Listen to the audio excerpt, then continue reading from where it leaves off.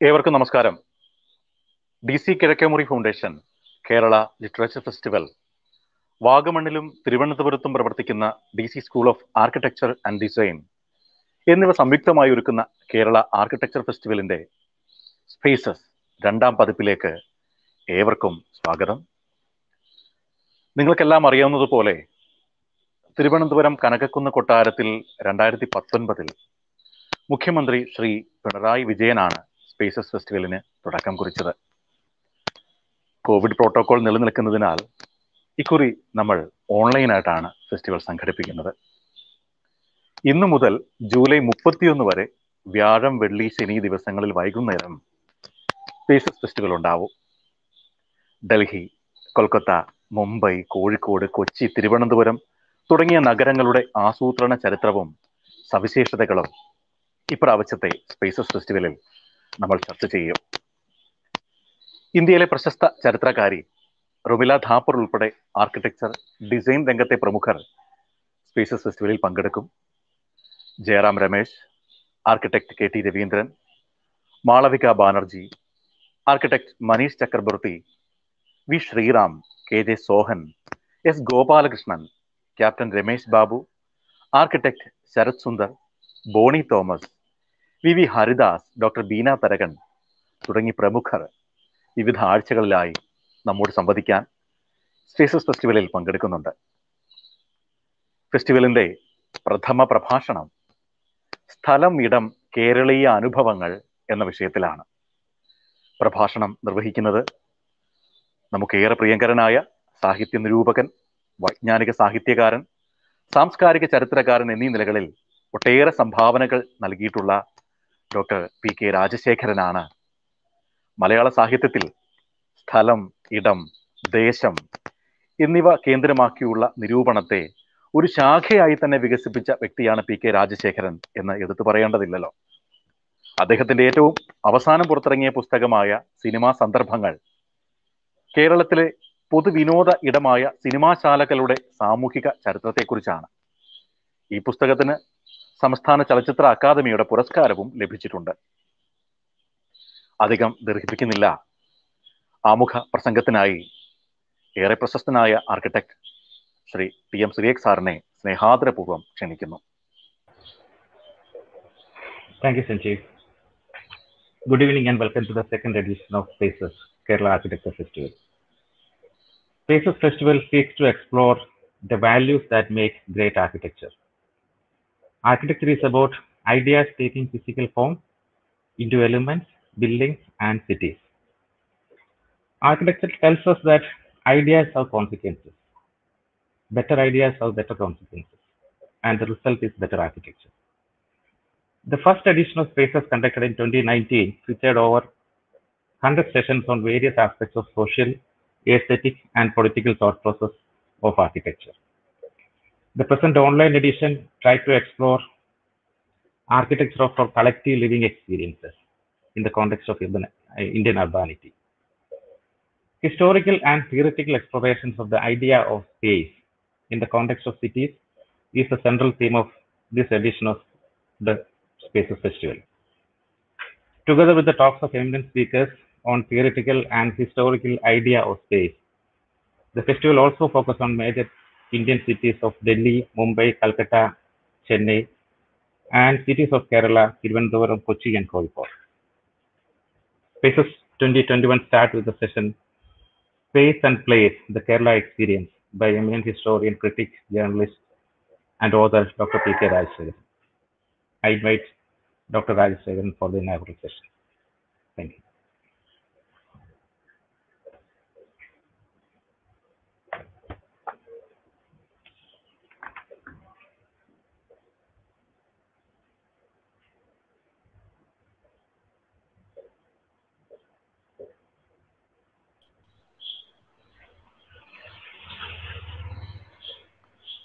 നന്ദി സാർ. പ്രഭാഷണത്തിനായി രാജശേഖരൻ സാറിനെ ആദരപൂർവം ക്ഷണിക്കുന്നു.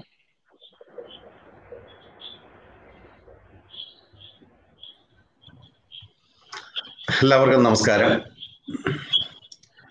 സ്ഥലത്തിന്റെയും ഇടത്തിന്റെയും അതായത് സ്പേസിന്റെയും പ്ലേസിന്റെയും കലയായ വാസ്തുവിദ്യയുടെ പശ്ചാത്തലത്തിലാണ് സ്പേസസ് ഫെസ്റ്റിവൽ എന്ന ആശയം തന്നെ ഉണ്ടാകുന്നത്. ഇതിൽ പങ്കെടുക്കുന്ന ആളുകളും എല്ലാവരും ഞാനും നിങ്ങൾ ഉൾപ്പെടെ എല്ലാവരും ഏതെങ്കിലുമൊക്കെ വാസ്തുശില്പ രൂപങ്ങളിൽ പാർക്കുന്നവർ ആണ്. നമുക്ക് ചുറ്റും വിശാലമായ സ്ഥലവും വിശാലമായ ഇടങ്ങളും ഉണ്ടെന്ന് നിങ്ങൾക്ക് അറിയാം. എന്നാലും സൈദ്ധാന്തികമായി നോക്കുമ്പോൾ നമ്മുടെ ഈ അനുഭവത്തെ നമ്മുടെ നിത്യജീവിതത്തിലെ അനുഭവമായ സ്ഥലത്തെയും ഇടത്തെയും നമുക്ക് സൈദ്ധാന്തികമായും ചരിത്രപരമായും കേരളത്തിന്റെ പശ്ചാത്തലത്തിൽ പരിശോധിച്ചു നോക്കാനാണ് ഈ സന്ദർഭത്തിൽ ഞാൻ ശ്രമിക്കുന്നത്. അപ്പോൾ നമ്മുടെ കേൾവിക്കാർ ഭൂരിഭാഗവും മലയാളികളാണ് എന്നുള്ളത് കൊണ്ടും നിങ്ങളുടെ തന്നെ നിത്യജീവിതാനുഭവത്തിന്റെ ഭാഗമാണ് സ്ഥലവും ഇടവും കേരളത്തിന്റെത് എന്നുള്ളത് കൊണ്ടും. ഈ കാര്യം നിങ്ങൾക്ക് എന്നോടൊപ്പം സഞ്ചരിച്ചു വരുന്നതിന് ഒരു തടസ്സവും ഉണ്ടാകുന്ന ഉണ്ടാവുകയില്ല എന്നാണ് എന്റെ പ്രതീക്ഷ. നമുക്ക് ആദ്യം എന്താണ് ഈ സ്ഥലം ഇടം എന്നീ രണ്ട് കൽപ്പനകളെ നമുക്കൊന്ന് നിർവചിക്കുകയോ അവയെ വേർതിരിച്ച് കാണുകയോ വേണം. സ്ഥലം എന്നതിന് ഇംഗ്ലീഷിൽ ഉപയോഗിക്കുന്ന വാക്ക് സ്പേസ് എന്നാണ് അല്ലെങ്കിൽ സ്പേസ് എന്ന് പറയുന്നതിന് നാം പ്രയോഗിക്കുന്ന വാക്ക് സ്ഥലം എന്നാണ്. സ്ഥലം കാലത്തെ പോലെ ടൈമിനെ പോലെ തന്നെ മനുഷ്യജീവിതത്തിന്റെ കോർഡിനേറ്റുകളിൽ ഒന്നാണ്. അത് വളരെ കോൺക്രീറ്റ് ആയ ഒന്നല്ല സ്ഥലം. അമൂർത്തമായ ഒരു സങ്കല്പം കൂടിയാണ് ഈ സ്ഥലം. കാരണം നമ്മൾ ജോഗ്രഫിയിൽ സ്ഥലമുണ്ട് ജിയോമെട്രിയിൽ സ്ഥലമുണ്ട്. അപ്പൊ അത് ടോപ്പോളജി എന്ന് പറഞ്ഞ് മാത്തമെറ്റിക്സ് പഠിക്കുന്ന സ്ഥലങ്ങളുണ്ട്. നമ്മുടെ മെന്റൽ സ്പേസസ് ഉണ്ട്. നമ്മുടെ മാനസികമായ സ്ഥലങ്ങളുണ്ട്. പിന്നെ നമ്മുടെ അറിവുമായി ബന്ധപ്പെട്ട കോഗ്നിറ്റീവ് സ്പേസസ് ഉണ്ട്. ഇങ്ങനെ വ്യത്യസ്തങ്ങളായ തരം സ്പേസസ് ഉണ്ട്. പിന്നെ വളരെ അബ്സ്ട്രാക്റ്റ് ആയിട്ടുള്ള ഈ പ്രപഞ്ചം എന്ന് പറഞ്ഞാൽ കോസ്മോസ് തന്നെ ഒരു വലിയ സ്ഥലമായി നിലനിൽക്കുന്നു. ഈ സ്ഥലത്തിൽ അതായത് അമൂർത്ത സ്വഭാവമുള്ള സ്ഥലത്തെ മൂർത്തമാക്കാൻ അതിനെ അബ്സ്ട്രാക്റ്റ് ആയ സ്ഥലത്തെ കോൺക്രീറ്റ് ആക്കാനായിട്ട് മനുഷ്യൻ അതിന് ചില അർത്ഥങ്ങൾ നിക്ഷേപിക്കാറുണ്ട്. അപ്പൊ മീനിങ് ഫുൾ ആക്കുക സ്ഥലത്തെ. അപ്പൊ ഒരു സ്ഥലത്തിൽ ഒരു പ്രത്യേക അർത്ഥം മനുഷ്യൻ നിക്ഷേപിക്കുമ്പോഴാണ് അല്ലെങ്കിൽ ഒരു അർത്ഥം ഏർപ്പെടുത്തുമ്പോഴാണ് ആ സ്ഥലം ഇടം അഥവാ പ്ലേസ് ആയി മാറുന്നത്. അതിന് പല വഴികളുണ്ട്. ഒരു ഒരു ഉദാഹരണമായി ഒരു വലിയ മുറി സങ്കല്പിക്കുക.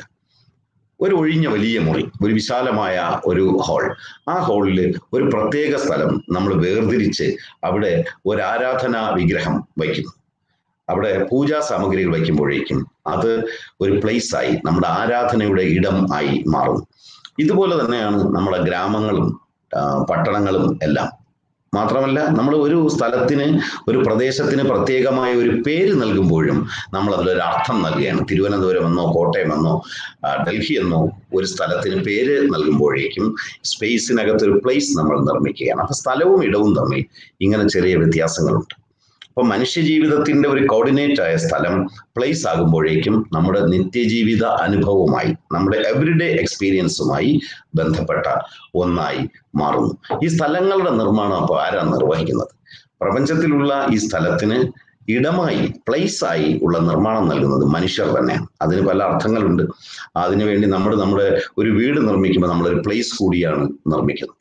സ്ഥലത്തിന്റെ ഒരു മൂർത്ത രൂപമാണ് അല്ലെങ്കിൽ വളരെ കോൺക്രീറ്റ് ആയ ഒരു രൂപമാണ് ആണ് വീട് എന്ന പ്ലേസ് ആരാധനാലയം നിർമ്മിക്കുമ്പോൾ ഒരു ഗ്രാമം നിർമ്മിക്കുമ്പോൾ ഒരു നഗരമോ കോട്ടയോ നിർമ്മിക്കുമ്പോൾ ഒരു ഫാക്ടറി നിർമ്മിക്കുമ്പോൾ നമ്മൾ പുതിയ പ്ലേസസ് നിർമ്മിക്കുകയാണ് ചെയ്യുന്നത്. അതിൽ നമ്മൾ ചില പ്രത്യേക അർത്ഥങ്ങൾ ചില ജീവിത ശൈലികളൊക്കെ നിർമ്മിക്കുന്നു. ഇവ നമ്മുടെ ഐഡന്റിറ്റിയുടെ ഭാഗമാണ്. ഈ പ്ലേസുമായി ബന്ധപ്പെട്ടാണ് നമ്മുടെ ഐഡന്റിറ്റി എല്ലായ്പ്പോഴും നിലനിൽക്കുന്നത്. അത് സ്റ്റാറ്റിക് അല്ല. നമ്മൾ ഒരു പ്ലേസിൽ തന്നെ എന്നുമായി നിൽക്കുന്നില്ല. കാരണം നിരന്തരമായ കുടിയേറ്റങ്ങളിലൂടെ നമ്മുടെ തൊഴിൽ കുടിയേറ്റമാകാം. എന്നേക്കുമായി നമ്മുടെ ജീവിതം ഉപേക്ഷിച്ച് മറ്റൊരു പ്രദേശത്ത് കുടിയേറുന്നുകൊണ്ടാവാം അവിടെ മറ്റൊരു പ്ലേസിലേക്ക് നമ്മൾ ചെന്നെത്തുന്നു അപ്പൊ ആ പ്ലേസുമായി ബന്ധപ്പെട്ട് നമ്മുടെ ഐഡന്റിറ്റിയുടെ സ്വഭാവം മാറുന്നു. അങ്ങനെ നമ്മുടെ ജീവിതത്തിന്റെയും നമ്മുടെ സ്വത്വത്തിന്റെയും ഒക്കെ ഭാഗമായി നിലനിൽക്കുന്ന ഒന്നാണ് സ്പേസ് അല്ല പ്ലേസ് അഥവാ ഇടം എന്ന ആശയം. ഇത് നിലനിൽക്കുന്നതാകട്ടെ സ്പേസിലും ആണ്. അപ്പോ പ്ലേസ് സ്ഥിരമായിരിക്കുന്ന ഒരിടമാകണമെന്നില്ല പ്ലേസും സ്പേസിലും തമ്മിലുള്ള ഒരു വ്യത്യാസം മനസ്സിലാക്കാൻ നമ്മളൊരു കപ്പലിനെ സങ്കല്പിക്കുക കപ്പൽ ഒരു പ്ലേസ് ആണ്. ഈ വിശാലമായ പ്രപഞ്ചം അല്ലെ സമുദ്രം എന്ന് പറയുന്ന വലിയ സ്പേസിനകത്തൂടെ നീങ്ങിക്കൊണ്ടിരിക്കുന്ന ഒരു സ്ഥലമാണ് ഒരു ഇടമാണ് ഒരു കപ്പൽ. അപ്പോ പ്ലേസ് എന്ന് പറയുന്നത് ഇടം എന്ന് പറയുന്നത് സ്റ്റാറ്റിക് ആയ സ്ഥിരതയുള്ള ഒരെണ്ണം തന്നെ ആവണമെന്നില്ല നിരന്തരമായി മൂവ് ചെയ്യുന്ന ഒന്നുകൂടി ആകാം. അപ്പൊ അത് സ്പേസിന് മറ്റൊരർത്ഥമാണ് അവിടെ കൈവരുന്നത്. ഇത് കേരളത്തിന്റെ അനുഭവത്തിൽ എങ്ങനെയാണ് പ്രവർത്തിക്കുന്നത് എന്നാണ് നമ്മൾ നോക്കേണ്ട സ്ഥലത്തെയും ഇടത്തെയും നമ്മൾ വേർതിരിച്ചത്. അപ്പോൾ നമുക്ക് ആലോചിച്ച് നോക്കിയാൽ കേരളത്തിന്റെ ചരിത്രം വ്യത്യസ്തങ്ങളായ സ്ഥലങ്ങളെ നമ്മൾ രൂപപ്പെടുത്തിയിട്ടുണ്ട്. നോക്കൂ നമ്മൾ കേരളത്തെ നമ്മൾ കാണാൻ ശ്രമിക്കും. കേരളത്തെ സ്ഥലപരമായി അല്ലെങ്കിൽ ഇടങ്ങളായി നിർവചിക്കാൻ ശ്രമിച്ചാൽ നിങ്ങൾ ആരും ഉത്തരം പറയാൻ സാധ്യതയുള്ളത് നഗരങ്ങൾ കേരളത്തിലെ ജില്ലകൾ കേരളത്തിലെ വില്ലേജുകൾ കേരളത്തിലെ കൊച്ചു കൊച്ചു ഗ്രാമങ്ങൾ ക്ഷേത്രങ്ങൾ പള്ളികൾ വിദ്യാലയങ്ങൾ ഇങ്ങനെ പിന്നെ പൊതുസ്ഥലങ്ങൾ ഇവ ഇങ്ങനെ പല പല സ്പേസസ് ആയിട്ടാണ് പല പ്ലേസസ് ആയിട്ടാണ് നമ്മൾ ഈ കേരളത്തെ നമ്മൾ നിർവചിക്കുന്നത്. എങ്ങനെയാണ് ഈ കേരളത്തിന്റെ ഈ പ്ലേസസ് കേരളത്തിന്റെ സ്പേസ് രൂപപ്പെട്ടത്? വളരെ അബ്സ്ട്രാക്റ്റ് ആയിരുന്നു. ഒരു കാലത്ത് ജനവാസം ആരംഭിക്കുന്ന അല്ലെങ്കിൽ പ്രാചീന ചരിത്ര ഘട്ടത്തിൽ ഇങ്ങനെ നിർജനമായി കിടന്ന ഈ പ്രദേശങ്ങൾ മനുഷ്യവാസമുള്ള ആവാസ കേന്ദ്രങ്ങൾ അതായത് മനുഷ്യനെ അർത്ഥവത്താക്കി മാറ്റിയ പ്ലേസസ് ആയി മാറിയതിന്റെ ചരിത്രം എന്തായിരിക്കും എന്ന് നമ്മൾ ആലോചിക്കേണ്ടതുണ്ട്. നമ്മൾ ഇന്ന് ഒരു കെട്ടിടം കെട്ടുമ്പോൾ ഒരു ഒഴിഞ്ഞ സ്ഥലത്ത് നമ്മളൊരു വീട് വെക്കുമ്പോൾ അല്ലെങ്കിൽ ഒരു ഷോപ്പിംഗ് കോംപ്ലക്സ് നിർമ്മിക്കുമ്പോൾ അല്ലെങ്കിൽ ഒരു പൊതുസ്ഥലം നിർമ്മിക്കുമ്പോൾ മൈതാനം നിർമ്മിക്കുമ്പോൾ ആ സ്ഥലത്തിന് നമ്മൾ സവിശേഷമായ ഒരു അർത്ഥം നൽകുന്നുണ്ട്. ആ അർത്ഥം നമ്മുടെ ചരിത്രം നമ്മുടെ സ്വത്വം നമ്മുടെ പ്രതീക്ഷകൾ നമ്മുടെ ജീവിത സ്വപ്നങ്ങൾ ഇവയുമായി ബന്ധപ്പെട്ടാണ് നമ്മൾ നിക്ഷേപിക്കുന്ന അർത്ഥങ്ങളാണ് അതിനകത്ത് ഉള്ളത്. ആ പ്ലേസ് ആയി മാറുന്നത് അവയുടെ അടിസ്ഥാനത്തിലാണ്. അപ്പോൾ നമ്മൾ പ്രാചീന കേരളത്തിന്റെ ചരിത്രം ആലോചിച്ചാൽ പ്രാചീന കാലത്ത് തമിഴകം എന്ന് പറഞ്ഞ വിശാലമായ ഒരു ദക്ഷിണേന്ത്യൻ സങ്കല്പത്തിന്റെ ഭാഗമായിരുന്നു ഇന്നത്തെ കേരളം. വളരെ കുറച്ച് ജനങ്ങൾ മാത്രം ഉണ്ടായിരുന്ന ഭൂരിഭാഗവും കാടായിരുന്ന നദികൾക്ക് കുറുകെ പാലങ്ങൾ ഉണ്ടാകായിരുന്ന ഇല്ലായിരുന്ന ഒരു പ്രാചീനമായ ഈ ഭൂതകാലത്തെ തമിഴ് ജീവിതത്തിൽ തിണകൾ എന്നൊരു സങ്കല്പം ഉണ്ടായിരുന്നു. ഒരു രണ്ടായിരം വർഷത്തിലധികം പഴക്കമുള്ള സംഘസാഹിത്യത്തിൽ സംഘകാല സാഹിത്യം എന്ന് പറയുന്ന രണ്ടായിരം വർഷങ്ങൾക്ക് മുമ്പ് കേരളത്തിലും തമിഴ്നാട്ടിലുമായി തമിഴ് ഭാഷയിൽ എഴുതപ്പെട്ട നാടോടി പാട്ടുകളാണ് സംഘസാഹിത്യം എന്ന് പറയുന്നത്. ഒരുപാട് പാട്ടുകളുണ്ട്. അകനാനൂറ് പുറനാനൂറ് എട്ടുതുകൈ പത്തുപാട്ട് എന്നൊക്കെ പറയുന്ന അനേക പാട്ടുകളുണ്ട്. ഈ പാട്ടുകളിലൊക്കെ സവിശേഷമായ ഒരു ഇട സങ്കല്പവും ഒരു സ്ഥല സങ്കല്പവും നമുക്ക് കാണാം. അവർ ആ കാലത്തെ ആളുകൾ സ്ഥലത്തെ അഞ്ച് തിണകൾ ആയിട്ടാണ് അല്ലെങ്കിൽ അഞ്ച് ഭൂപ്രദേശങ്ങളായിട്ടാണ് വ്യത്യസ്തമായ ഐഡന്റിറ്റി പുലർത്തുന്ന അഞ്ച് തരം സ്ഥലങ്ങളായി വേർതിരിച്ചത്. അത് നിങ്ങൾ ചരിത്രമൊക്കെ പഠിച്ചുള്ളവർക്ക് അറിയാം. ഐന്തിണകൾ അഥവാ അഞ്ച് തിണകൾ എന്ന് പറഞ്ഞാൽ കുറിഞ്ഞി അല്ലെങ്കിൽ കുറിഞ്ചി കുറിഞ്ഞി മുല്ല പാല നെയ്തൽ മരുതം എന്ന് പറഞ്ഞ അഞ്ച് തിണകളായിട്ടാണ് ഭൂപ്രദേശത്തെ അവർ കണ്ടത്. ഈ കുറിഞ്ചി എന്ന് പറഞ്ഞ ഉയർന്ന മല നിരകൾ അടങ്ങുന്ന പ്രദേശം. മുല്ല എന്ന് പറഞ്ഞാൽ കുന്നുകൾ അടങ്ങിയ അത്ര വലിയ പർവതങ്ങളല്ലാത്ത ഇടത്തരം കുന്നുകൾ നിറഞ്ഞ പ്രദേശം. ആ മുല്ല എന്ന് കേട്ടാൽ നിങ്ങൾക്കറിയാം മുല്ലപ്പെരിയാർ. മുല്ലൈ പെരിയാർ എന്ന് തമിഴിലും മലയാളത്തിൽ മുല്ലപ്പെരിയാർ എന്ന് പറയും. മുല്ലൈ പ്രദേശത്തിൽ നിന്ന് ഒഴുകി വരുന്ന പെരിയാർ എന്നാണ് അതിന്റെ അർത്ഥം. അപ്പൊ മുല്ല ചേർന്ന ഒരുപാട് സ്ഥലങ്ങൾ കേരളത്തിലും തമിഴ്നാട്ടിലുമുണ്ട്. അതുപോലെ തന്നെ കുറിഞ്ചി ചേർന്ന സ്ഥലങ്ങൾ കേരളത്തിൽ പല സ്ഥലമുണ്ട് കുറിച്ചി എന്നൊരു സ്ഥലം തന്നെ കോട്ടയം ജില്ലയിൽ ഉണ്ട്. ഒരുപാട് കുറിച്ചികൾ പുതുക്കുറിച്ചി എന്നോ തിക്കുറിച്ചി എന്നോ ഒക്കെയുള്ള സ്ഥലപ്പേരുകൾ കേരളത്തിൽ പലയിടത്തും നമുക്ക് കാണാൻ കഴിയും. അപ്പോ ഈ മല മലനിര പ്രദേശങ്ങളായ കുറിഞ്ചി അത് കഴിഞ്ഞു വരുന്ന കുന്നിൻ പ്രദേശങ്ങളായ മുല്ല അത് കഴിഞ്ഞ് വരുന്ന പാലനിലങ്ങൾ. പാല എന്ന് പറഞ്ഞൊരു പ്രദേശം. അത് വരൾ നിലങ്ങളാണ്. വെള്ളത്തിന്റെ അംശം കുറഞ്ഞ പരന്ന മനുഷ്യവാസം അസാധ്യമായ ചില ആക്രമണകാരികളായ ജീവികൾ മാത്രമുള്ള കൃഷി ചെയ്യാൻ ഉപയുക്തമല്ലാത്ത വരണ്ട നിലങ്ങളെയാണ് പാലനിലങ്ങൾ എന്ന് പറഞ്ഞിരുന്നത്. അത് കേരളത്തിന്റെ ഭൂപ്രകൃതിയിൽ അത്തരം സ്ഥലങ്ങൾ കുറവാണ്. എന്നാൽ തമിഴ്നാട്ടിൽ അത്തരം സ്ഥലങ്ങൾ ധാരാളമായി ഉണ്ട്. മുൾച്ചെടികൾ മാത്രം വളരുന്നതാണ്. അത് കഴിഞ്ഞാൽ മരുതം എന്ന് പറഞ്ഞ സ്ഥലം. മൈതം മരുതം എന്ന് പറഞ്ഞാൽ നീർവാർച്ചയുള്ള സ്ഥലം അല്ലെങ്കിൽ ജലത്തിന്റെ ഒഴുക്കുള്ള കൃഷിഭൂമി എന്നാണ് അർത്ഥം. കേരളത്തിൽ മരുതം ചേർന്ന മരുതൂർ മരുതം കുഴി എന്നൊക്കെയുള്ള സ്ഥലപ്പേരുകളുണ്ട്. ടോപ്പോണിമിക്കലി അഥവാ സ്ഥല നാമചരിത്രപരമായി നോക്കിയാൽ അവയുടെ ഭൂമിശാസ്ത്രപരമായ സവിശേഷതയാണ് ആ മരുതം എന്ന വാക്ക് സൂക്ഷിക്കുന്നത്. അവിടെ കൃഷി ചെയ്യാൻ പറ്റും വെള്ളമുണ്ട് മനുഷ്യവാസം സാധ്യമാണ്. എല്ലാ ഋതുക്കളും ഒരുപോലെ തന്നെ മനുഷ്യന് കഴിഞ്ഞു പോകാൻ പറ്റും. സീസണുകളിൽ ഇപ്പൊ പാലനിലത്തിൽ വേനൽക്കാലം അസഹ്യമായിരിക്കും. മലനിരകളിൽ ശീതകാലം വളരെ അസഹ്യമായിരിക്കും. എന്നാൽ മരുതം എന്ന പ്രദേശത്താകട്ടെ എല്ലാ ഋതുക്കളിലും മനുഷ്യവാസം സുഖകരമായി കഴിഞ്ഞു പോകും സ്വാഭാവികമായിട്ടും അത്തരം സ്ഥലങ്ങളിലാണ് കൃഷി ഉണ്ടാവുക വീടുകൾ ഉണ്ടാവുക ഗ്രാമസമൂഹങ്ങളും ആവാസ വ്യവസ്ഥകളും ഉണ്ടാകുന്നത് പിന്നീട് നഗരങ്ങൾ രൂപപ്പെടുന്നത് നമ്മുടെ വ്യവസായങ്ങൾ രൂപപ്പെടുന്നത് എല്ലാം അവിടെ ആയിരിക്കും. കുന്നിൻ പ്രദേശങ്ങൾ പോലുള്ള സ്ഥലങ്ങളിൽ മുല്ല പോലുള്ള സ്ഥലങ്ങളിൽ ആടുമാടുകളെ മേയ്ക്കൽ കാലിമേയ്പ്പായിരിക്കാം പ്രധാന ജീവനോപായമായി തീരുന്നത്. അവസാനത്തെ തിണ നെയ്തലാണ്. നെയ്തൽ എന്ന് പറഞ്ഞാൽ ഈ കടത്തി കടൽ തീരമാണ് തീരപ്രദേശം അവിടെ കൃഷി ചെയ്യാൻ പറ്റില്ല. എന്നാൽ അവിടെ ഉപ്പ് ഉണ്ടാക്കാനോ മീൻ പിടിക്കാനോ ഒക്കെ കഴിയും. അങ്ങനെ പലതരം തിണകളായിട്ട് ആണ് സംഘകാലത്തെ മനുഷ്യർ നാടിനെ സ്ഥലത്തെ വിഭജിച്ച് ഇടങ്ങളാക്കി മാറ്റിയിരുന്നത്. ഈ തിണകൾ പിൽക്കാലത്ത് അപ്രത്യക്ഷമായി. ഇന്ന സ്ഥലത്ത് ഇന്ന ആളുകൾ. ഓരോ സ്ഥലത്തിനും പ്രത്യേക ദേവനും പ്രത്യേക തരം മനുഷ്യരും ജാതികളും ഒക്കെ ഉണ്ടായിരുന്നു. പ്രത്യേക സീസൺ പോലും കൽപ്പിക്കപ്പെട്ടിരുന്നു. ആ കാലം മാറി ജനസംഖ്യ വർദ്ധിക്കാൻ തുടങ്ങുന്നു. ലോകത്തിന്റെ സ്വഭാവം മാറ്റിമറിക്കുന്നതിൽ വലിയ പങ്ക് വഹിക്കുന്ന ഒന്ന് മനുഷ്യരുടെ കുടിയേറ്റമാണ്. ഒരു സ്ഥലത്ത് നിന്ന് മറ്റൊരു സ്ഥലത്തേക്ക് മനുഷ്യൻ തന്ന കുടിയേറ്റങ്ങൾ ഒരു ഭൂവിഭാഗത്തിന്റെ അല്ലെങ്കിൽ ഒരു രാജ്യത്തിന്റെ ഒക്കെ സ്വഭാവം മാറ്റിമറിക്കുകയും അവിടുത്തെ ആവാസ വ്യവസ്ഥയുടെ സ്വഭാവം മാറ്റുകയും സംസ്കാരത്തിന്റെ സ്വഭാവം മാറ്റുകയും ചെയ്യും. അപ്പൊ ഒരു ഉദാഹരണം നിങ്ങൾ ആലോചിച്ച് നോക്കിയാൽ മതി. നമ്മുടെ നാട്ടിൽ ഇപ്പൊ നടന്നുകൊണ്ടിരിക്കുന്നത് ബംഗാളി എന്ന് നമ്മൾ വിളിക്കുന്ന ഉത്തരേന്ത്യയിൽ നിന്നുള്ള പല സംസ്ഥാനങ്ങളിലുള്ള ആളുകൾ തൊഴിൽ തേടി കേരളത്തിലേക്ക് കുടിയേറുകയാണ് ചെയ്യുന്നത്. അത് താൽക്കാലികമായി പെർമനന്റ് ആയി കേരളത്തിൽ വസിക്കാൻ വരുന്നവരല്ല. അഞ്ചോ പത്തോ വർഷം ഇവിടെ ജോലി ചെയ്ത് അവരുടെ ജീവസന്ധാരണത്തിന് വേണ്ടി കഴിയുക. അത് കഴിഞ്ഞ് അവരുടെ നാട്ടിലേക്ക് തിരിച്ചു പോകാൻ വേണ്ടി വരുന്നവരാണ് പക്ഷേ അവരുടെ വരവ് നമ്മുടെ സംസ്കാരത്തിൽ മാറ്റങ്ങൾ വരുത്തുന്നുണ്ട്. നമ്മുടെ ഭാഷയിൽ മാറ്റം വരുത്തുന്നുണ്ട്. ഞാനൊരു ഉദാഹരണം പറഞ്ഞാൽ മലയാളത്തിൽ അടുത്ത കാലത്ത് ഇറങ്ങുന്ന സിനിമകളിലൊക്കെ ഈ ഉത്തരേന്ത്യക്കാരായ ഈ തൊഴിലാളികളിൽ നിന്ന് ചിലർ അഭിനയിക്കാൻ വരുന്നുണ്ട്. ചില സിനിമകളിൽ അവരുടെ ജീവിതം പ്രമേയമായി മാറുന്നു.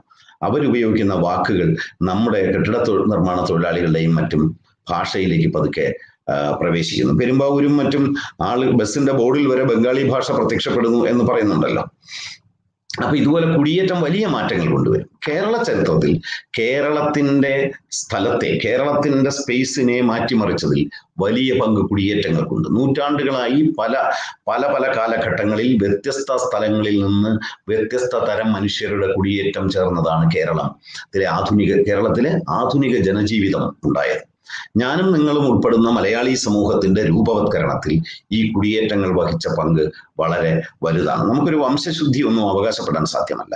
നമ്മുടെയൊക്കെ പ്രാചീനരുടെ പിന്മുറക്കാർ എവിടെ നിന്ന് വന്നവരാണ്? അതൊക്കെ കണ്ടെത്തുക ജിനറ്റിക്സിന്റെ ദൗത്യങ്ങളിലും ജിനറ്റിക്സിലൂടെ അത് കണ്ടെത്താൻ കഴിയും. അല്ലെങ്കിൽ ജീനിയോളജിക്കൽ പഠനങ്ങളിലൂടെ ഒരു പരിധിവരെ അത് നമുക്ക് കണ്ടെത്താൻ കഴിയും. ഈ നമ്മുടെ പൊതുവർഷം സി കോമൺ ഇറയുടെ തുടക്കത്തിൽ തന്നെ ഒരു രണ്ടായിരം വർഷം മുമ്പ് തന്നെ കേരളത്തിലേക്ക് പലതരം കുടിയേറ്റങ്ങൾ ആരംഭിച്ചു. അതിലെ പ്രധാനപ്പെട്ട കുടിയേറ്റങ്ങൾ ഉത്തരേന്ത്യയിൽ നിന്ന് ജൈനരും ബുദ്ധരും കുടിയേറാൻ തുടങ്ങി. ബുദ്ധര് ബൗദ്ധ ജന ബുദ്ധമത വിഭാഗത്തിൽപ്പെട്ടവർ ശ്രീലങ്കയിൽ നിന്ന് വന്നെന്ന് പറയുന്നുണ്ട്. അതുപോലെ തന്നെ ഉത്തരേന്ത്യയിൽ നിന്ന് ബുദ്ധമതം വ്യാപിക്കുന്നു ജൈനമതം വ്യാപിക്കുന്നു. കർണാടകം വഴി ആണ് ജൈനമതം കേരളത്തിലേക്ക് ഒരു റൂട്ടിൽ വ്യാപിച്ചത്. അത് നമ്മുടെ വയനാട്ടിലാണ് ഏറ്റവും കൂടുതൽ ജൈന ബസ്തികൾ കണ്ടെത്തിയിട്ടുള്ളത്. ജൈന മതസ്ഥരായ ആളുകൾ വയനാട്ടിൽ ധാരാളമായി ഉണ്ട്. കേരളത്തിലെ ഒരു ന്യൂനപക്ഷ മതമാണ് ജൈനമതം. ഇതുപോലെ കേരളത്തിന്റെ തെക്കൻ പ്രദേശങ്ങളിലും ജൈന കേന്ദ്രങ്ങൾ ഉണ്ടായിരുന്നു. അത് തമിഴ്നാട് വഴി കന്യാകുമാരി ജില്ലയിൽ പെട്ടുപോയ പഴയ കേരളത്തിലെ സ്ഥലങ്ങൾ. ആയിരത്തി തൊള്ളായിരത്തി അമ്പത്തി ആറിൽ സംസ്ഥാനങ്ങൾ പുനർനിർവചിക്കുകയും കേരള സംസ്ഥാനം രൂപപ്പെടുത്തിയപ്പോൾ അന്ന് വരെ തിരുവിതാംകൂറിന്റെ ഭാഗമായിരുന്ന തെക്കൻ പ്രദേശത്തെ അഞ്ച് താലൂക്കുകൾ തമിഴ്നാട്ടിലേക്ക് പോയി. ആ അഞ്ച് താലൂക്കുകളിൽ പെടുന്ന ഭാഗങ്ങളാണ് കന്യാകുമാരി ജില്ലയായി മാറിയത് തമിഴ്നാട്ടിലെ. ഈ കന്യാകുമാരി ജില്ലയിൽപ്പെട്ട ചിതറാൽ പോലുള്ള സ്ഥലങ്ങളിൽ ഒരു വലിയ ജൈന കേന്ദ്രങ്ങൾ നമുക്ക് നമുക്കിന്നും കാണാൻ കഴിയും. അവ ഇന്ന് ആരാധനയില്ലാത്ത ചരിത്ര സ്മാരകങ്ങളായി തുടരുകയാണ്. ഈ ജൈന സ്മാരകങ്ങൾ ഒരു കുടിയേറ്റത്തിന്റെ ഭാഗമാണ്. മാവേലിക്കര പോലുള്ള സ്ഥലങ്ങളിൽ ബുദ്ധമതത്തിന്റെ സ്മാരകങ്ങൾ ഇപ്പോഴും ഉണ്ട്. കുട്ടനാട്ടിലെ കരുമാടി കുട്ടനൊക്കെ ബുദ്ധനാണ് എന്ന് ഹിസ്റ്റോറിയൻസ് പറയുന്നു. ഇതിനു പുറമെ ഉത്തരേന്ത്യയിൽ നിന്ന് ഉണ്ടായ മറ്റൊരു കുടിയേറ്റമാണ് ബ്രാഹ്മണരുടെ കുടിയേറ്റം. കേരളത്തിന്റെ ചരിത്രത്തിൽ വലിയ മാറ്റം വരുത്തിയ ഒരു കുടിയേറ്റം ബ്രാഹ്മണ കുടിയേറ്റം ആണ്. ആ ഞാൻ ആ ബ്രാഹ്മണ കുടിയേറ്റത്തിലേക്ക് വരാം. അതിനു മുമ്പ് നമ്മുടെ നാട്ടിൽ മാത്രമല്ല വിദേശത്തു നിന്നുള്ള കുടിയേറ്റം ഉണ്ടായിട്ടുണ്ട്. കേരളത്തിൽ ജൂതരാണ് അങ്ങനെ കുടിയേറിയ ഒരു വലിയ ജനത. ജൂതർ അവരുടെ നാട്ടിൽ വലിയ പെർസിക്യൂഷന് മതപീഡനത്തിന് വിധേയമായപ്പോൾ ലോകത്തിന്റെ പല ഭാഗങ്ങളിലേക്ക് അവർ ചിതറിപ്പോയതിനെയാണ് പ്രവാസം എന്ന് പറയുന്നത് ഡയസ്പറ എന്ന് പറയുന്നത് നമുക്കറിയാം. ഇന്ന് ഡയസ്പറ അഥവാ പ്രവാസം എന്ന വാക്ക് എല്ലാത്തരം ചിതറിപ്പോക്കുകളെയും കുറിക്കാനാണ് ഉദ്ദേശിക്കുന്നത്. അങ്ങനെ ഒരുപാട് ജൂതർ ഇന്ത്യയിലേക്ക് വന്നു. അതിൽ വലിയൊരു വിഭാഗം കൊടുങ്ങല്ലൂരിലും കൊച്ചിയിലുമാണ് വന്ന് അടിഞ്ഞത്. പിൽക്കാലത്ത് അവർ ക്രൈസ്തവരായി കൺവെർട്ട് ചെയ്തു. സമീപകാലത്ത് ആറ് ഏഴ് മാസം മുമ്പ് കൊച്ചിയിലെ അവസാനത്തെ ജൂതസ്ത്രീയായ സാറ കോഹൻ മരിച്ചത് പത്രങ്ങളിൽ വലിയ വാർത്തയായത് നിങ്ങൾക്ക് ഓർമ്മ കാണും. മട്ടാഞ്ചേരിയിലെ ജൂത സിനഗോഗ് ഓർമ്മ കാണും. പറവൂരിൽ ജൂതരുടെ സിനഗോഗ് ഉണ്ട്. അപ്പൊ കേരളത്തിന്റെ ചരിത്രത്തെ മാറ്റിമറിച്ചതിൽ വലിയ സ്വാധീന ശക്തിയുള്ള ഒന്നാണ് കേരളത്തിലേക്കുള്ള ജൂതരുടെ കുടിയേറ്റം. അങ്ങനെ വിദേശത്തു നിന്നുള്ള കുടിയേറ്റമുണ്ട്. പിന്നെ അറബി നാടുകളിൽ നിന്ന് അറബി വ്യാപാരികൾ കേരളത്തിന്റെ തീരപ്രദേശങ്ങളിൽ വരികയും ഇസ്ലാം മതം പ്രചരിപ്പിക്കുകയും ഇവിടെ കുറെ പേർ കുടിയേറുകയും ഒക്കെ ചെയ്തിട്ടുണ്ട്. അങ്ങനെ നിരന്തരമായ കുടിയേറ്റങ്ങൾ. ഇതിന് പുറമേ കേരളത്തിലേക്ക് പിന്നീട് നടന്ന കുടിയേറ്റങ്ങൾ തമിഴ്നാട്ടിൽ നിന്ന് പട്ടന്മാരുടെ കുടിയേറ്റം ചെട്ടിമാരുടെ കുടിയേറ്റം. ഇതൊക്കെ പാലക്കാട് തിരുവനന്തപുരം ജില്ലകളിലാണ് ഏറ്റവും കൂടുതൽ നടന്നിട്ടുള്ളത്. ഇങ്ങനെ വ്യത്യസ്തങ്ങളായ കുടിയേറ്റങ്ങൾ കേരളത്തിന്റെ ഭൂപ്രകൃതിയിൽ പ്രത്യേക സ്ഥല സങ്കല്പങ്ങൾ പ്രത്യേക ഗ്രാമസങ്കല്പങ്ങളൊക്കെ സൃഷ്ടിക്കുക ഉണ്ടായി. പ്രത്യേക സംസ്കാരങ്ങളെ അവ സൃഷ്ടിച്ചു. അപ്പൊ നമ്മുടെ അമൂർത്തമായ സ്ഥല സ്ഥലത്തിൽ ഈ വ്യത്യസ്ത കൊടിമായ കുടിയേറ്റങ്ങൾ പുതിയ അർത്ഥങ്ങൾ ഉണ്ടാക്കുന്നു പുതിയ സമൂഹങ്ങൾ സൃഷ്ടിക്കുന്നു പുതിയ പ്ലേസസ് സൃഷ്ടിക്കുന്നു. ആ പ്ലേസസിൽ നിന്നാണ് പുതിയ ആവാസ വ്യവസ്ഥകൾ പുതിയ ജീവിതക്രമങ്ങൾ പുതിയ ഭാഷാഭേദങ്ങൾ ഭക്ഷണക്രമങ്ങൾ വസ്ത്രധാരണ ക്രമങ്ങൾ ആരാധനാക്രമങ്ങൾ എല്ലാം ഉരുത്തിരിഞ്ഞ് വരികയും ആധുനിക കേരളത്തെ രൂപപ്പെടുത്തുകയും ചെയ്തത് അപ്പൊ ആധുനിക കേരളത്തിന്റെ ചരിത്രം കേരളത്തിലെ ഇടങ്ങളുടെ രൂപാന്തരണ രൂപവത്കരണത്തിന്റെ ചരിത്രം കൂടിയാണ്. ഈ കുടിയേറ്റങ്ങളിലെ ബ്രാഹ്മണ കുടിയേറ്റം ഉണ്ടായപ്പോ ആ, കേരളത്തിലെ ബ്രാഹ്മണ കുടിയേറ്റത്തെ കുറിച്ചുള്ള ഐതിഹ്യ പ്രകാരം പരശുരാമനാണല്ലോ കേരളം സൃഷ്ടിച്ചത്. പരശുരാമൻ ബ്രാഹ്മണരെ കൊണ്ടുവന്ന് കേരളത്തിൽ മുപ്പത്തിരണ്ട് ഗ്രാമങ്ങൾ സ്ഥാപിച്ചു എന്നാണ് ഐതിഹ്യം. മുപ്പത്തിരണ്ട് ഗ്രാ മലയാളി ഗ്രാമങ്ങളും മുപ്പത്തിരണ്ട് തുളു ഗ്രാമങ്ങളും അങ്ങനെ അറുപത്തിനാല് ഗ്രാമങ്ങൾ പരശുരാമൻ എന്ന ഐതിഹ്യ കഥാപാത്രം സൃഷ്ടിച്ചു എന്നാണ് പറയുന്നത്. ഐതിഹ്യം എന്താ ഐതിഹ്യ പുരുഷന്റെ വാസ്തവസ്ഥിതി നമ്മൾ അന്വേഷിക്കേണ്ട. എന്നാൽ ഈ മുപ്പത്തിരണ്ട് തുളു ഗ്രാമങ്ങൾ കർണാടകത്തിലും മലയാള ഗ്രാമങ്ങൾ കേരളത്തിലുമാണ്. വടക്ക് കണ്ണൂർ ജില്ലയിലെ തളിപ്പറമ്പ് മുതൽ അതായത് പെരിഞ്ചല്ലൂർ എന്ന് പറഞ്ഞ തളിപ്പറമ്പ് മുതൽ ചെങ്ങന്നൂർ വരെ നീണ്ടു കിടക്കുന്ന അതായത് വടക്ക് നിന്ന് ഇങ്ങേയറ്റം പമ്പാനീ തീരം വരെയുള്ള നദീതീരങ്ങൾ പ്രധാനപ്പെട്ട നദികളുടെ തീരങ്ങളിൽ മുപ്പത്തിരണ്ട് ഗ്രാമങ്ങൾ. ചെങ്ങന്നൂർ കഴിഞ്ഞ് തെക്കോട്ട് ബ്രാഹ്മണ ഗ്രാമങ്ങൾ ഉണ്ടായില്ല. അപ്പൊ പെരിയാറിന്റെയും ഭാരതപ്പുഴയുടെയും വളപട്ടണം പുഴയുടെയും തീരങ്ങളിലാണ് കേരളത്തിലെ ഏറ്റവും ചാലക്കുടി പുഴയുടെയും തീരത്താണ് കേരളത്തിലെ ഈ മുപ്പത്തിരണ്ട് ഗ്രാമ ബ്രാഹ്മണ ഗ്രാമങ്ങൾ പ്രാചീന കാലത്ത് രൂപപ്പെട്ടത്. എട്ടാം നൂറ്റാണ്ടോടു കൂടിയാണ് ഈ ഗ്രാമങ്ങൾ ഉണ്ടാകുന്നത്. ഈ ഗ്രാമ ഗ്രാമങ്ങൾ ഉണ്ടായതോടുകൂടി കേ ബ്രാഹ്മണ മേധാവിത്വം കേരളത്തിൽ പതുക്കെ പതുക്കെ ശക്തമാകും അപ്പൊ നമ്മൾ മനസ്സിലാക്കേണ്ടത് ഈ രണ്ടായിരം അല്ലെങ്കിൽ ആയിരത്തി അഞ്ഞൂറ് കൊല്ലം മുമ്പ് നടന്ന ഈ കുടിയേറ്റത്തിന്റെ സമയത്ത് കേരളത്തിൽ ഇന്നത്തെ പോലെ മൂന്ന് കോടി ജനങ്ങളൊന്നുമില്ല. വളരെ കുറച്ച് ജനങ്ങളെ ഉള്ളൂ. എല്ലായിടവും കാടുകളാണ്. അപ്പൊ നദീതീരങ്ങളെ കേന്ദ്രമാക്കി പുതിയ ഗ്രാമസമൂഹങ്ങൾ ഉണ്ടാകുന്നു. കാർഷിക സമൂഹങ്ങൾ ഉണ്ടാകുന്നു. പുതിയ കൃഷിരീതി ഉണ്ടാകും. അപ്പൊ ബ്രാഹ്മണർ അവർക്കുണ്ടായിരുന്ന സംസ്കൃത വിജ്ഞാനവും ശാസ്ത്രവിജ്ഞാനവും ഉപയോഗിച്ച് നാളും തിഥിയും കണക്കാക്കുകയും കാലാവസ്ഥ ഗണിക്കുകയും ചെയ്ത് ശാസ്ത്രവിജ്ഞാനത്തിന്റെ ഒരു മേൽക്കോയ്മ സമൂഹത്തിൽ ചെലുത്തി. അതിന്റെ ഭാഗമായിട്ട് നമ്മുടെ സംസ്കാരത്തിൽ മാത്രമല്ല രാഷ്ട്രീയ അധികാരത്തിലും അവർക്ക് പങ്ക് വരാൻ തുടങ്ങും. അവർ നമ്മുടെ മതാത്മകമായ അധികാരവും രാഷ്ട്രീയമായ അധികാരവും ബ്രാഹ്മണ സമൂഹത്തിൽ കേന്ദ്രീകരിക്കും. അങ്ങനെ ബ്രാഹ്മണരെ കേന്ദ്രമാക്കി ക്ഷേത്രത്തെ കേന്ദ്രമാക്കി ഒരു ആരാധനാ സമൂഹവും ഒരു അധികാര സമൂഹവും ഒരു കാർഷിക സമൂഹവും കേരളത്തിൽ രൂപപ്പെട്ടു അപ്പൊ ഈ ബ്രാഹ്മണ ഗ്രാമങ്ങൾ പതുക്കെ പതുക്കെ വികസിക്കുന്നു. കേരളത്തിൽ പുതിയ ആവാസ വ്യവസ്ഥകൾ വരുന്നു. രാജ്യങ്ങൾ രൂപപ്പെടാൻ തുടങ്ങും. കേരളത്തിലെ പ്രാചീന കാലത്ത് ചേര സാമ്രാജ്യം ഉണ്ടായിരുന്നു. പന്ത്രണ്ടാം നൂറ്റാണ്ടോടുകൂടി ഈ സാമ്രാജ്യം അവസാനിക്കുകയും കൊടുങ്ങല്ലൂരിലെ മഹോദയപുരം കേന്ദ്രമാക്കി ഉണ്ടായിരുന്ന പഴയ ഒരു ഒരു സാമ്രാജ്യം എന്നൊന്നും പറയാൻ വലിയ വലിപ്പമൊന്നും ഉണ്ടായിട്ടല്ല. എന്നാലും നമ്മൾ ചേര സാമ്രാജ്യം എന്ന് പറയുന്നത് അത് പിളർന്ന് നാടുകളായി മാറും. നാടുകൾ നാടുകളിലെ നാടുവാഴികൾ ദേശവാഴികൾ എല്ലാം ഉണ്ടാകുന്നു. ഈ നാടുവാഴികളുടെ രൂപപ്പെടലോടുകൂടി ജന്മിത്തം എന്ന് പറഞ്ഞൊരു പുതിയ ശക്തി രൂപപ്പെടുന്നു. കൊച്ചു കൊച്ചു രാജാക്കന്മാർ അവരുടെ അധീന പ്രദേശങ്ങൾ. അപ്പോ സ്ഥലത്തിനുണ്ടാകുന്ന മാറ്റം കണ്ടല്ലോ. മുപ്പത്തിരണ്ട് ഗ്രാമങ്ങൾ വികസിക്കുന്നു സാമ്രാജ്യങ്ങൾ വികസിക്കുന്നു സാമ്രാജ്യം തകർന്ന് കൊച്ചു കൊച്ചു നാടുകൾ കൊച്ചു കൊച്ചു രാജ്യങ്ങൾ വികസിച്ചു വരുന്നു. പിന്നീട് പതുക്കെ പതുക്കെ ഈ കൊച്ചു രാജ്യങ്ങൾ പരസ്പരം പോരടിക്കുകയോ ചില രാജ്യങ്ങൾ മറ്റേതിനെ കീഴ്പ്പെടുത്തി വലിയ രാജ്യങ്ങളായി മാറുകയോ ചെയ്യുന്നു. അങ്ങനെ കേരളത്തിൽ തൊണ്ണൂറിലോളം കൊച്ചു നാട്ടുരാജ്യങ്ങൾ ഉണ്ടായിരുന്നു ഒരു കാലത്ത്. ആ പ്രിൻസിപ്പാലിറ്റികളെല്ലാം പിന്നീട് ചെറുതായി മറ്റു വലുതുകളിൽ ലയിക്കുകയും പിന്നീട് തിരുവിതാംകൂർ കൊച്ചി മലബാർ കോലത്തുനാട് എന്നൊക്കെ പറഞ്ഞ മൂന്നാൽ വലിയ നാടുകളായി അവ മാറുകയും ചെയ്യുന്നത് നമ്മൾ ചരിത്രം പഠിച്ചവർക്കെല്ലാം അറിയാം. ഇവിടെ സംഭവിച്ചത് ഈ രാഷ്ട്രീയമായ ഈ സ്ഥലത്തിന്റെ രൂപവത്കരണത്തിലൂടെ ഈ പ്ലേസസ് സൃഷ്ടിച്ചതിലൂടെ പുതിയ ചില സാമൂഹിക രൂപവത്കരണങ്ങൾ കൂടെ നടന്നു. അങ്ങനെ തറകൾ ഉണ്ടാവാൻ തുടങ്ങുന്നു. ഗ്രാമസമൂഹങ്ങളിലെ ഒരു ഒരു ജനവിഭാഗം പ്രത്യേക അവകാശാധികാരങ്ങളോടുകൂടി അവരുടെ ഒരു ജീവിതം ക്രമപ്പെടുത്തി ഒരുമിച്ച് ജീവിക്കുന്നതിനാണ് ഒരു തറ എന്ന് പറയുന്നത്. അപ്പൊ ആ തറയിൽ ഓരോ ജാതിക്കും ഓരോ അവകാശമുണ്ട്. അവിടുത്തെ മണ്ണാന് അവിടുത്തെ തുണി അലക്കുന്നതിനുള്ള അവകാശമുണ്ട് ഒരു പ്രദേശത്തെ.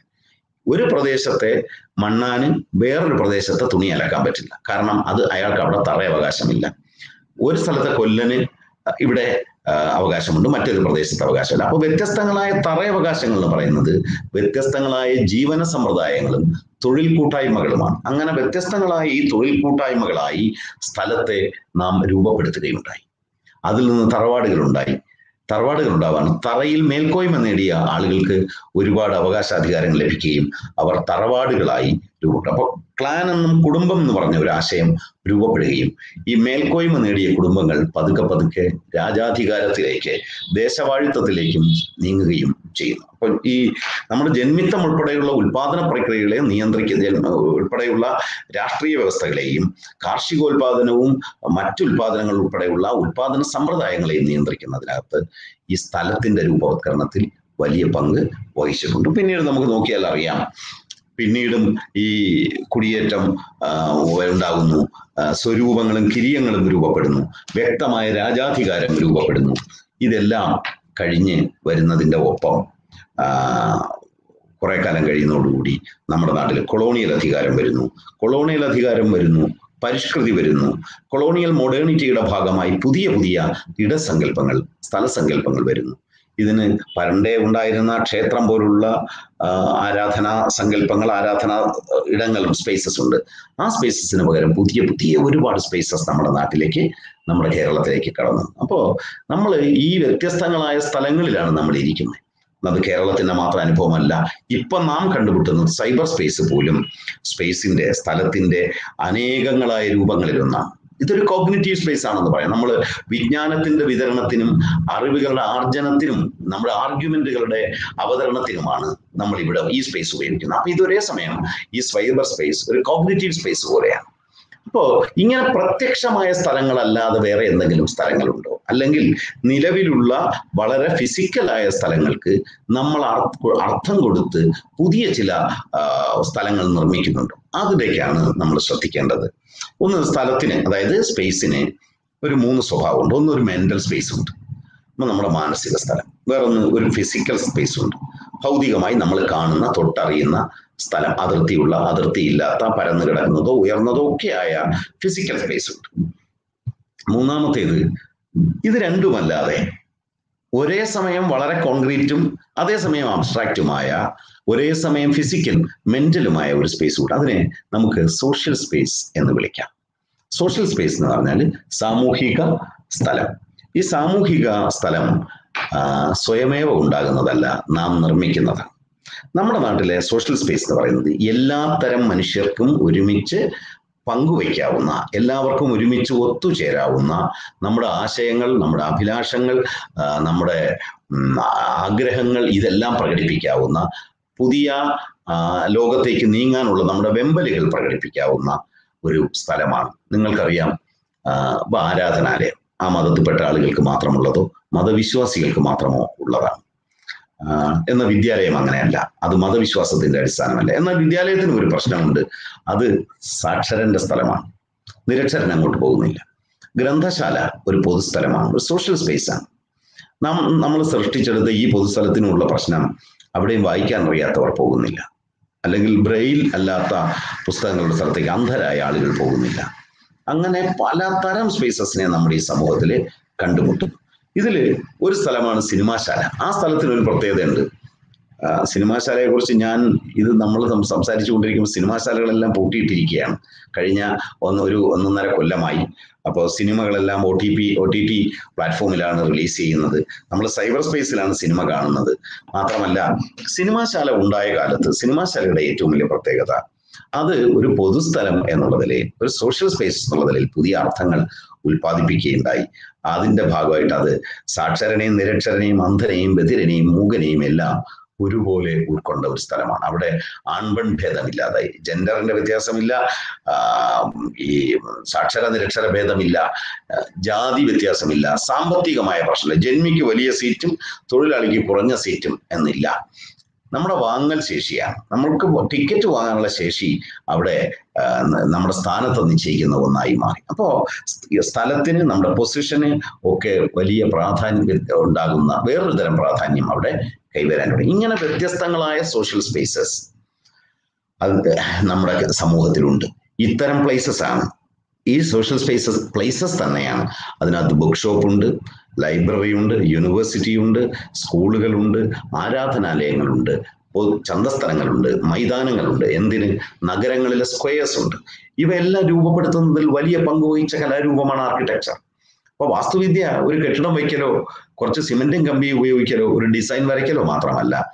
ഒരു സമൂഹത്തിന്റെ ചരിത്രത്തിൽ ഇടപെടുകയും ആ സമൂഹത്തിന്റെ സ്പേസിനെ ആ സമൂഹത്തിൽ നിലവിലുള്ള സ്പേസിനെ അമൂർത്തമായ സ്പേസിനെ വളരെ മൂർത്തവും അർത്ഥവത്തും ആയ ചരിത്രപരമായ പ്രാധാന്യമുള്ള ജനജീവിതവുമായി അവർ ജനജീവിതത്തിന്റെ ഐഡന്റിറ്റിയുമായി ബന്ധമുള്ള ഒരു പ്ലേസ് ആക്കി മാറ്റുന്ന ഒരു കലയാണ് ശാസ്ത്രമാണ് വാസ്തുവിദ്യ എന്നാണ് നമ്മൾ അതിനെ കാണേണ്ടത്. വെറും ഒരു മന്ദിര നിർമ്മാണമോ അല്ല ഒരു നഗര ചത്തുരത്തിന്റെ നിർമ്മാണം. അതായത് ഒരു സിറ്റി സ്ക്വയർ എന്ന് പറയുന്നത് ആളുകൾക്ക് വെറുതെ പോയി ഇരിക്കാനുള്ള സ്ഥലമല്ല. അതൊരു വലിയ ആളുകൾക്ക് പിന്നീട് രാഷ്ട്രീയമായി പോലും ഉപയോഗിക്കാവുന്ന സ്ഥലം.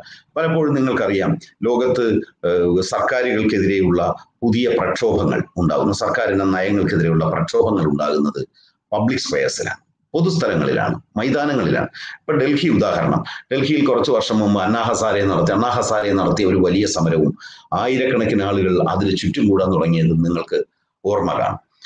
കുറേ വർഷങ്ങൾക്ക് മുമ്പ് ആയിരത്തി തൊള്ളായിരത്തി എൺപത്തി ഒമ്പതിൽ ലോകത്ത് തന്നെ വലിയ മാറ്റങ്ങൾക്ക് ഇടം കുറിച്ച പ്രത്യേകിച്ചും കമ്മ്യൂണിസത്തിന് വെല്ലുവിളിച്ച കമ്മ്യൂണിസ്റ്റ് ഭരണകൂടങ്ങളെ വെല്ലുവിളിച്ച ഒരു വലിയ സംഭവം ചൈനയിലുണ്ടായി. അത് ടിയാനൻ മെൻ ബെയ്ജിങ്ങിലെ ടിയാനൻ മെൻ സ്ക്വയർ എന്ന് പറയുന്ന വലിയ ഒരു ചത്തുരമുണ്ട് ഒരു വലിയൊരു പബ്ലിക് സ്പേസ് ആണ്. അത് വളരെ വലിപ്പമുള്ള ഒരു സ്പേസ് നിങ്ങൾ ഗൂഗിൾ ചെയ്താൽ നിങ്ങൾക്ക് കാണാം. അവിടെ ചൈനയിലെ കമ്മ്യൂണിസ്റ്റ് ഭരണം തങ്ങളുടെ സ്വാതന്ത്ര്യങ്ങൾ അടിച്ചമർത്തുന്നു എന്ന് ആവശ്യപ്പെട്ട് അത് ഇല്ലാതാക്കണം എന്ന് ആവശ്യപ്പെട്ട് സ്വാതന്ത്ര്യം അനുവദിക്കണം എന്നിട്ട് ആവശ്യപ്പെട്ട് ചൈനയിലെ വിദ്യാർത്ഥികൾ യുവജനങ്ങൾ വലിയൊരു പ്രൊട്ടസ്റ്റ് സംഘടിപ്പിച്ചു.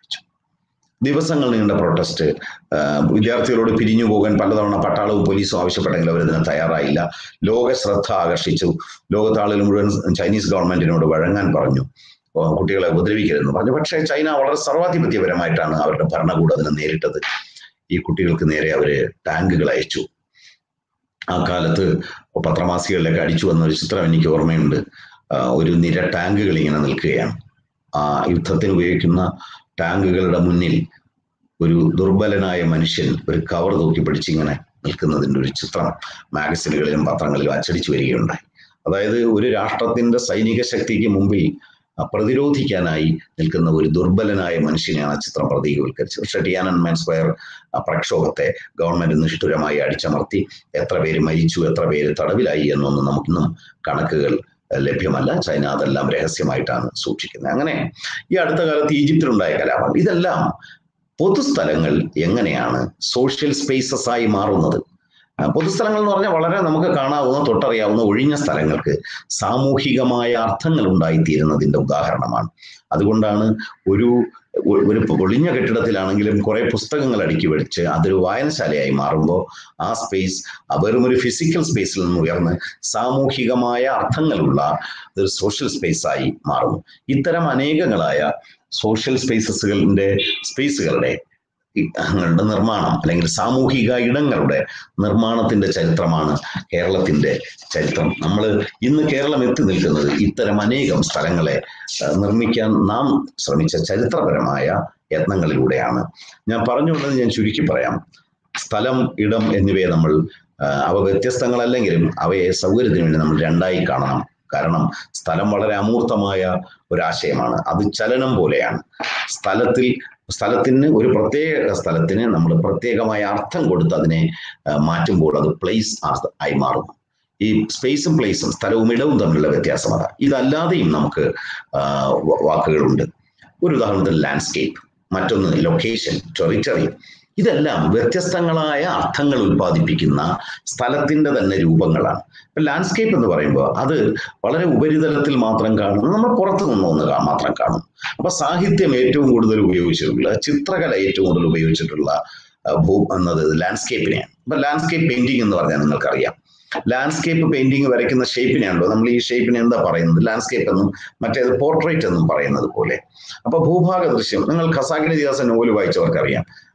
രവി കൂമൻകാവ് എന്ന് പറഞ്ഞ കഥ രവി എന്ന് പറഞ്ഞ നായക കഥാപാത്രം കൂമൻകാവ് എന്ന് പറഞ്ഞ ഗ്രാമത്തിലേക്ക് ചെല്ലുന്നതിന്റെ ദൂരെ നിന്ന് കാണുന്ന ഒരു ദൃശ്യം. ദൂരെ നിന്ന് കാണുന്ന ഒരു ലാൻഡ്സ്കേപ്പിന്റെ ദൃശ്യം അവതരിപ്പിച്ചുകൊണ്ടാണ് നോവൽ തുടങ്ങുന്നത്. ഇപ്പൊ എം ടി വാസുദേവൻ നായർ അദ്ദേഹത്തിന്റെ എൺപത്തെട്ടാം പിറന്നാൾ കേരളത്തിലെങ്ങും ആഘോഷിക്കുകയാണെന്ന് എം ടി വാസുദേവൻ നായരുടെ അതിപ്രസിദ്ധമായ രണ്ടാം ഊഴം എന്ന നോവൽ തുടങ്ങുന്ന സന്ദർഭം ഒരു ലാൻഡ്സ്കേപ്പിന്റേതാണ് അതായത് കുരുക്ഷേത്ര യുദ്ധം കടന്ന് തല തകർന്ന് കിടക്കുന്ന ദ്വാരക തകർന്ന് കിടക്കുന്ന ദ്വാരകയുടെ ദൃശ്യത്തിലാണ് അത് നോവൽ ആരംഭിക്കുന്നത്. കടലിന് കറുത്ത നിറമായിരുന്നു എന്ന വരിയിലാണ് നോവൽ തുടങ്ങുന്നത്. അതായത് ഒരു ലാൻഡ്സ്കേപ്പാണ് കടലിന്റെ ഒരു ഭൂഭാഗ ദൃശ്യം അവതരിപ്പിക്കും. അതാണ് ലാൻഡ്സ്കേപ്പിന്റെ പ്രത്യേകത. ഇനി അടുത്ത് ലൊക്കേഷൻ എന്ന് പറഞ്ഞാൽ സ്ഥാനമാണ് ലൊക്കേഷൻ നമ്മളെല്ലാവരും ലൊക്കേറ്റ് ചെയ്യപ്പെട്ടിരിക്കും ഒരു പ്രത്യേക സ്ഥലത്ത് സ്ഥാനപ്പെട്ടവരാണ് നമ്മളെല്ലാം. അപ്പൊ സ്ഥലം എന്ന് പറയുന്നതിനകത്ത് പ്ലേസ് എന്ന് പറയുന്നത് ചില പ്രത്യേക വസ്തുക്കൾ ലൊക്കേറ്റ് ചെയ്യുന്ന ഒരു സ്ഥലമാണ്. ചില ലൊക്കേഷൻസ് കൂടി ചേർന്നതാണ് ഇടം അഥവാ പ്ലേസ് എന്ന്. സാരം. അപ്പൊ ഇങ്ങനെ നമുക്ക് തൊട്ടറിയാവുന്ന ഭൗതികമായ ഈ സ്ഥലങ്ങളിൽ നിന്ന് നമ്മുടെ ചരിത്രവുമായും സംസ്കാരവുമായും ബന്ധപ്പെട്ട് ഉണ്ടാകുന്ന സാമൂ- സമൂഹത്തിന് പൊതുവായ സമൂഹത്തിന്റെ മുന്നേറ്റത്തെയും അർത്ഥങ്ങളെയും സ്വാധീനിക്കുന്ന ഒന്നിനെയാണ് നമ്മൾ സോഷ്യൽ സ്പേസ് അഥവാ സാമൂഹിക സ്ഥലങ്ങൾ എന്ന് പറഞ്ഞത്. സാമൂഹിക സ്ഥലത്തിന്റെ നിർമ്മാണം നമ്മുടെ ഐഡന്റിറ്റി നമ്മുടെ സ്വത്വം നമ്മുടെ ചരിത്രം നമ്മുടെ ഭാവി നമ്മുടെ രാഷ്ട്രീയം എല്ലാവുമായി ബന്ധപ്പെട്ടത് ആണ് അവയുടെ ചരിത്രമാണ് നാം നിരന്തരമായി മാറ്റിക്കൊണ്ടേയിരിക്കുന്നത്. മനുഷ്യൻ ഇന്ന് അന്ന് തൊട്ട് ഇന്ന് വരെയും ഈ വിശാലമായ സ്പേസിനെ അമൂർത്തമായ സ്ഥലത്തിന് പുതിയ അർത്ഥങ്ങൾ കൊടുക്കാൻ നിരന്തരമായി ശ്രമിച്ചുകൊണ്ടിരിക്കുന്നു. അതിലെ ഒരു രത്നമാണ് സാഹിത്യം മറ്റൊന്നാണ് ചിത്രകല വേറൊന്നാണ് വാസ്തുവിദ്യ. അങ്ങനെ നാം എല്ലാവരും ഈ സ്ഥലത്തിന്മേൽ ഇടങ്ങൾ നിർമ്മിച്ചുകൊണ്ടേ ഇരിക്കുന്നു. ഇതിന്റെയൊക്കെ ലക്ഷ്യം ഓരോ ഇടം നിർമ്മിക്കുമ്പോഴും നാം പ്രഖ്യാപിക്കുന്നത് ഇത് എന്റേതാണ് എന്റെ ഐഡന്റിറ്റിയുടെ ഭാഗമാണ്. ഞാനുണ്ട് എന്നുള്ളതിന്റെ അടയാളമാണ് ഓരോ ഇടവും. ഞാൻ ഉണ്ട് ഞാൻ ചിന്തിക്കുന്നു ഞാൻ പ്രവർത്തിക്കുന്നു ഞാൻ അറിയുന്നു എന്നുള്ളതിന്റെ എല്ലാം അടയാളമായിട്ട് കൂടിയാണ് ഈ സ്ഥലവും ഇടവും നിലനിൽക്കുന്നത്. പ്രത്യേകിച്ചും സാമൂഹിക സ്ഥലങ്ങൾ. ഇത് കേരളത്തിന്റെ ചരിത്രത്തിന്റെ പശ്ചാത്തലത്തിൽ ഇതിലൂടെ കടന്നു പോകാനാണ് ഞാൻ ശ്രമിച്ചത്. നമ്മുടെ ഈ പരിമിതമായ സമയത്തിനുള്ളിൽ ഇത് ഒരു രൂപരേഖ എന്നുള്ള നിലയിലാണ് സ്ഥലത്തെയും ഇടത്തെയും നിങ്ങൾ മറ്റൊരു കാഴ്ചപ്പാടിൽ കൂടി കാണണമെന്ന് പറയാനാണ് ഞാൻ ശ്രമിച്ചത്. വിശാലമായ ഒരു പഠനത്തിനോ സംവാദത്തിനോ നമുക്ക് സമയമില്ല. ഞാൻ എന്റെ വാക്കുകൾ അവസാനിപ്പിക്കുകയാണ്. ശ്രദ്ധാപൂർവം നിങ്ങൾ എല്ലാവരും കേട്ടു എന്ന് ഞാൻ പ്രതീക്ഷിക്കുന്നു. എല്ലാവർക്കും എന്റെ നമസ്കാരം.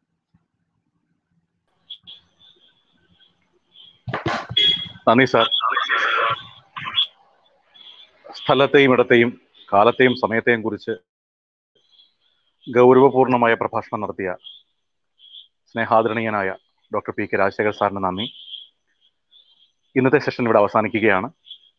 ഇത്രയും സമയം ഈ പരിപാടിയിൽ ഭാഗഭാക്കായ എല്ലാ പ്രേക്ഷകർക്കും നന്ദി പറയുന്നു. നാളത്തെ പ്രഭാഷണം ഇതേ സമയത്ത് നടക്കും. കേരള ആർക്കിടെക്ചർ ഫെസ്റ്റിവലിന്റെ പേരിലും ഡി സി ബുക്സിന്റെ പേരിലും എല്ലാവർക്കും നന്ദി പറഞ്ഞുകൊണ്ട് അവസാനിപ്പിക്കുന്നു. നന്ദി നമസ്കാരം.